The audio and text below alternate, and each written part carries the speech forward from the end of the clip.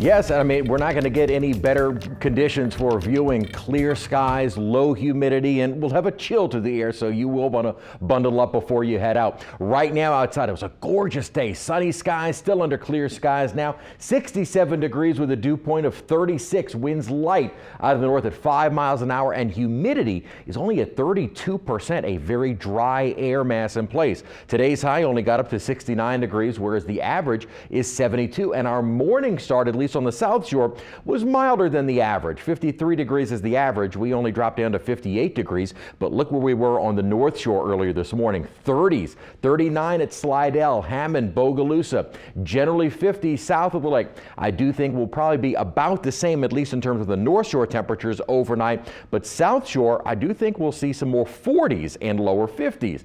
We only bottomed out into the upper 50s, gradually getting into the mid to upper 60s during the day today. Tomorrow afternoon will probably be a little bit warmer before another kind of shot reinforcing the cool, dry air in place for Wednesday. Outside at the moment, 60s and low 60s at that on the North Shore. Sun is going down. Once we get to about the 6 o'clock to 7 o'clock hour, we're going to see a lot of 50s north of the lake and even areas South Shore because our dew points are so low. Most of the day today, we actually had dew points in the 30s, and that's a very dry air mass and only getting into the 40s over the next couple of days. So that fall feel will still be with us until later in the day on Thursday. Notice the humidity will begin to rise as we approach the weekend and then kind of, kind of the same thing. Looks like by early next week, we'll see another front move on through, which will bring in another shot of cool, dry air.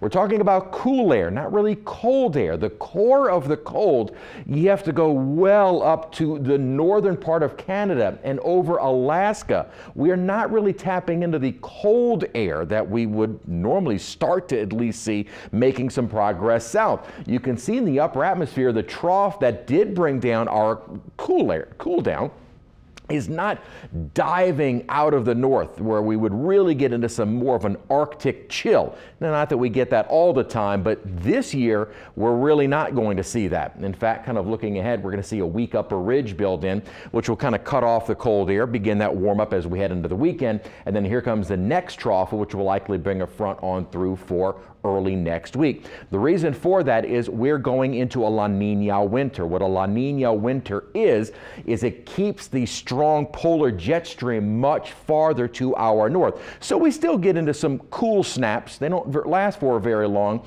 but we generally see a drier and warmer winter. And of course, we're not in winter yet, but after having such a strong La Nina this hurricane season, which is why we had so many storms, it looks like that pattern is going to continue on into the winter. Speaking of hurricane season, major hurricane Iota is just about off the coast of Nicaragua. And boy, when you see that well developed eye, you know this is a strong storm. And just really heart goes out for these folks, which had just in almost the exact same spot had landfall of major hurricane Eta about two weeks ago. And now you have Iota that will be moving across the country and then into the very mountainous terrain of western Nicaragua and Honduras. They're going to see some extreme landslides floods, uh, uh um, mudslides, and significant flooding from all of the rainfall that is moving into this area. We also have, just because we're not done with the season yet, once Iota moves out, another area that's going to be watched in the next five days of a 40% chance of development. So we are not